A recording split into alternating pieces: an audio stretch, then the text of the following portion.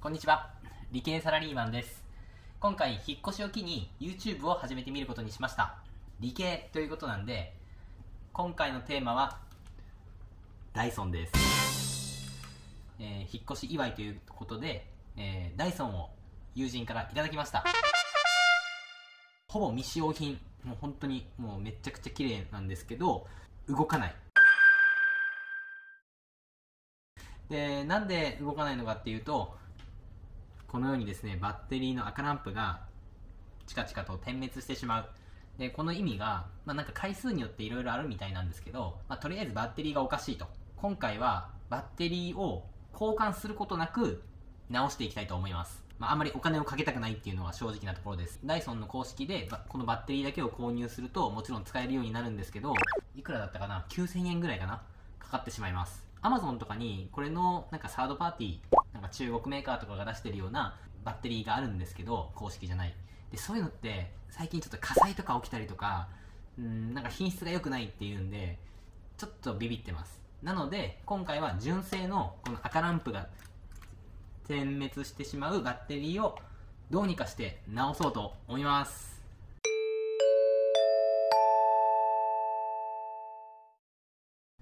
じゃあまずは分解していきます。で、基本的には家にあるものだけで直していけたらなと思います。まずはバッテリーを外すっていうところをやっていきます。まずね、ダイソンをね、ちゃんと使ったことがないんで、どうやってばらしていくんだろうね。外せましたお、外せましたすごいね、これ。なんかモーターだけみたいな。電動ドリルみたい。さあ、じゃあこっから、バッテリーを外していきます。多分ね、バッテリーこの中に入ってるんで、このネジかな。これがちょっとプラスっぽいけどちょっと違うみたいなネジですね。試して、試しに開けてみましょう。全然ちっちゃすぎた。さあ、中ぐらい。回ったねこっちも止まってるから、これも外すのかなこういうネジは長さが一緒だったらもうまとめちゃいます。お、外せる。おお。へえ。え、どういうこと？これここにスイッチがあって、これがガチャコーンってなって、トリガーを引くと、あれ？なんかよくわかんないけど、ランプすらつかなくなっちゃいました。ほら。え、なんで？これつけてないとダメなのかな？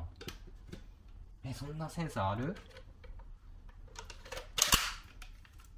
あ、あ、これつけたら赤ランプつく。ほら、すげえ。え、マジで？ここら辺の何かもあんのかな？あ、なんかやばい、カチャンってなっちゃった。へえ。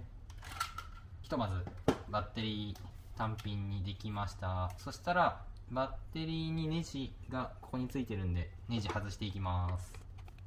ん？これはプラスじゃなくて、なんか六角系のネジですね。これ合う合う合う。よかった。ネジ外れました。これは短いネジだね。そしたら、バッテリーパックを開けていきましょう。え、なんか開きそうで開かない。どっか他にネジがあるのかもしれないけど、よくこういうところ？の裏に角串ネジみたいなのあったりするけど、うん、爪で触った感じなさそう。なんかこれあんまり引っ張ると折れちゃいそうで怖い。あ、でも絶対ね、これ開くよね、ここね。ちょっとここにドライバー入れてこじってみます。はい、なんか調べたんですけど、やっぱりもうこじっていくしかないっぽいです。無事開きました。こんな感じ。とりあえずこのバネは取っておきます。さっきのトリガーにつながってるのも取っておきます。バッテリーを引っ張り出せるのかな？ここにね、ネジが見えるんですよ。ちょっとネジ外しますか、一回。これも、トルクス。この基板と電池パックは、この、何、バスバーっていう、これで繋がってるんで、外れません。で、この透明な銅鋼板が、こんな感じで外側のプラスチックに差し込まれてるので、そこを外してあげれば取れるのかもしれない。あ抜けたここからが問題ですねちょっと導光板は外しておきます。ここに LED があってここがバッテリーの端子。で中に、えー、とリポが18650が123456 6本です。でトリガーを引くと多分このスイッチがカチッと押されてうん。でもなんかつかないね。多分こいつがリードスイッチとかなんで磁石近づけないとあのー、なんかセーフティーかかるようになってんのかなこんなあついたついたついた。なるほどね。今まだエラーです。ちょっとじゃあまずはバッテリーのこのサイドの部分の保護スポンジ剥がしてみます。すごいねこのスポンジ。なんかこんなにしっかりと保護されてるリチウムイオン初めて見た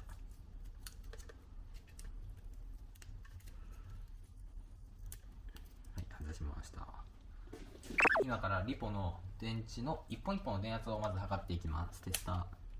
一番手前が3.822あいい感じ。3.62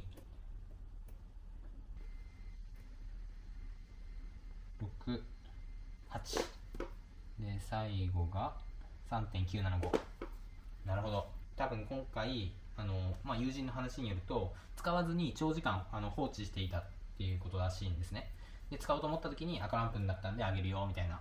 でえっ、とダイソンのバッテリーパックはなんか非常に優秀でまずバッテリーのこういうセルの電圧が一定じゃないと、まあ、エラーになる。今回みたいなエラーになるっていう話は聞いたことあるのでまずちょっとそのセルのバランスを整えてあげようかなと思います。で今回一番高い電圧が 3.975V なので 3.97V ぐらいまで、えー、とどうにか安定させてあげたいなと思います。まあ、セルごとの電圧を安定化させるのに使うのがこちらです。本当はリポの、えーと、専用充電器とか使った方がいいんですけど今回は安定化電源を使って、えー、バランスを整えてあげます。まあ、リポの充電器もね探せばどっかにあるんですけどちょっとね今引っ越しの箱の中にあると思うんで。では、えー、と今回一番高い電圧 3.97V にセットしてあげます。でリチウムイオンの充電はすごい危ないので皆さんやるときは注意してください、えー、必ず今回使ってるような CCCV 充電器もしくはリポの専用充電器、まあ、専用充電器の方が絶対いいです。このバッテリーパックの容量がえっ、ー、と 2000mAh なので、まあ、0.5C 充電。っていうことで、うん、1A ぐらいのリミットをかけてあげます。で電圧のリミットを4あ3.9、まあ、こんな感じ。3.97でではかけてあげます。ちゃんとねこれ曲線をね確認しないとね。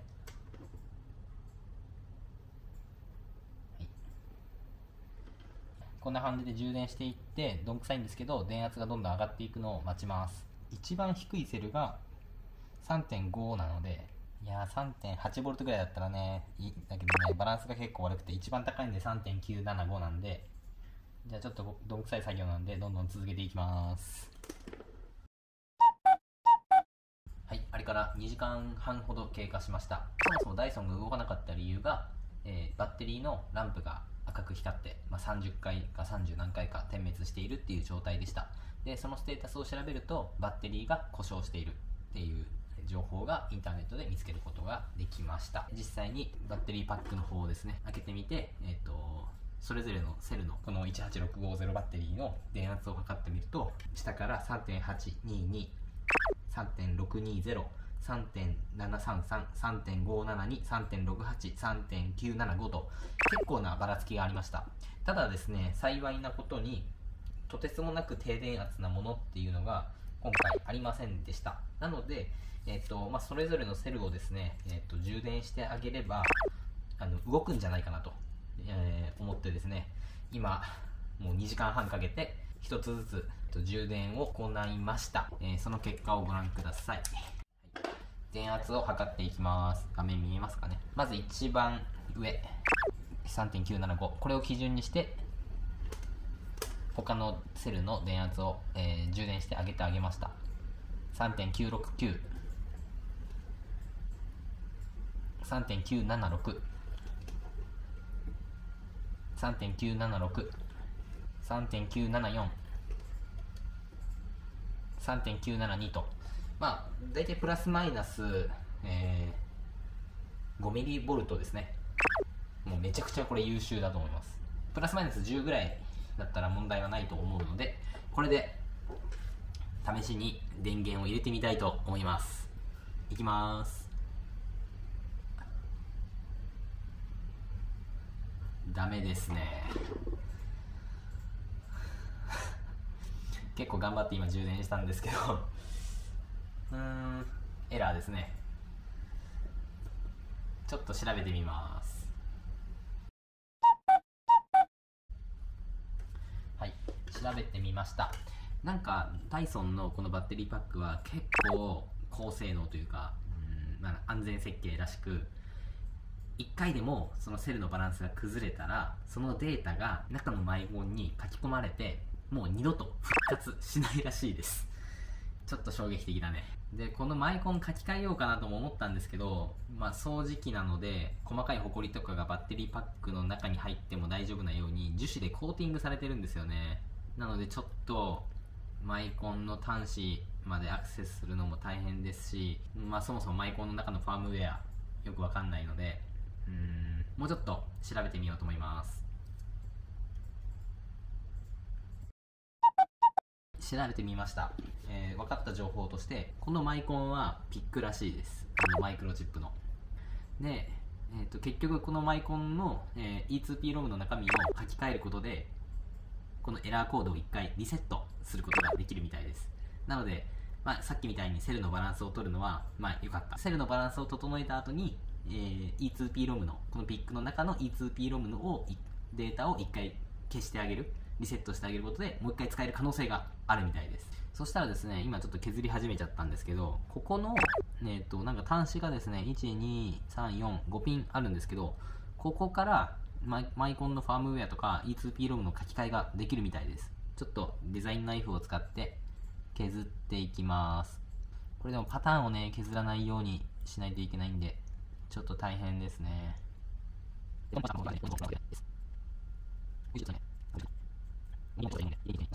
本当はね樹脂を溶かしてしまったりとかするのはいいんだと思うんですけどまあそんな薬剤は家にはありません。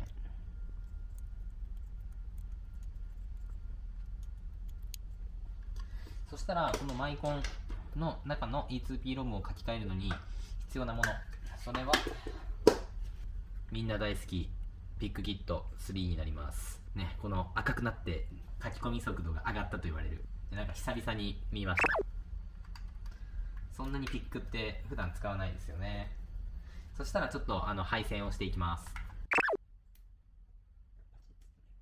はい、ではピックキット3を、えー、つないでピックキット3プログラマー。もう最近これ使わないと思うんですけど No device detected なのでちょっと動通が悪いのかもしれないのでちょっとこの辺グニグニ触ってストレスをかけてあげます。そしてもう一回リード。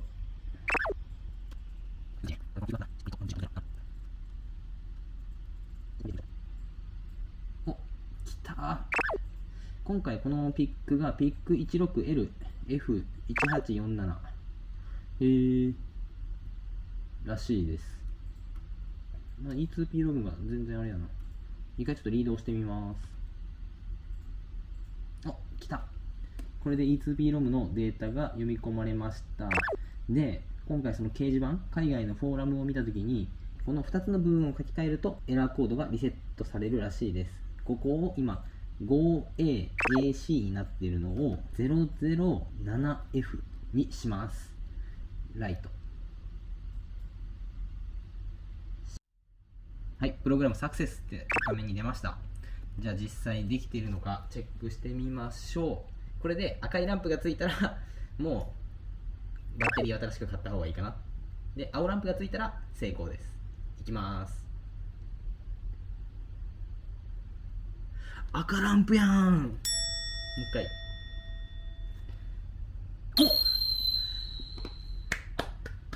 青ランプ初めて見ました。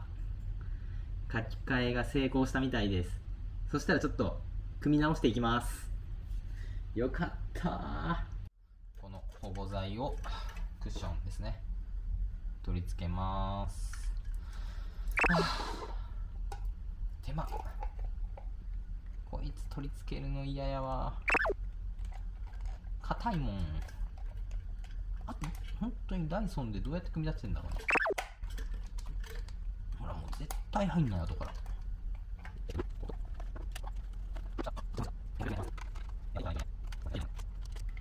たら最後にスイッチ動くこと確認してネジを締めます、はい、でさっきと同様に差し込みネジを3箇所。こっちは普通のドライバープラスドライバー。ねね。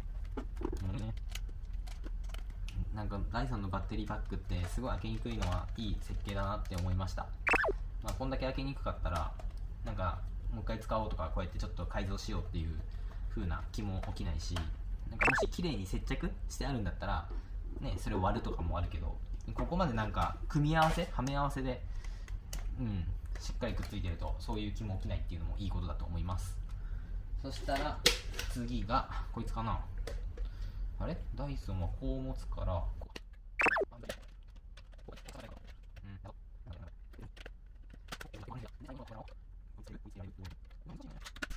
い。けたっぽい。でこれをつけて最後い。きますよこれで動い。たらありがとう動かなかったらもう寝ますえ何青ランプって何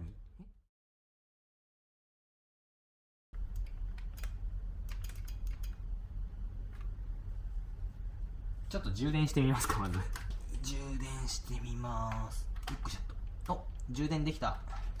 青ランプって多分充電成功だよね。一回抜きます。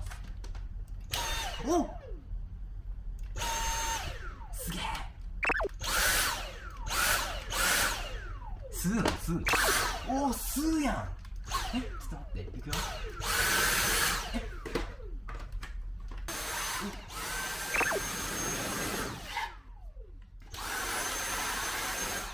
ダイソンすげえ。めっちゃ強えちょっと妻呼んできます。いいやん取れる取れる。髪の毛多いねうち。ねえ。でもこの配布がここなのがちょっと気になるねないか。顔にくるね。うん。いいやん。今後の動画ではこういう今回みたいな直したとかじゃなくて何か新しいもの買ってみたとか設置したとかそういった動画を撮っていきたいと思います。ぜひまた見てください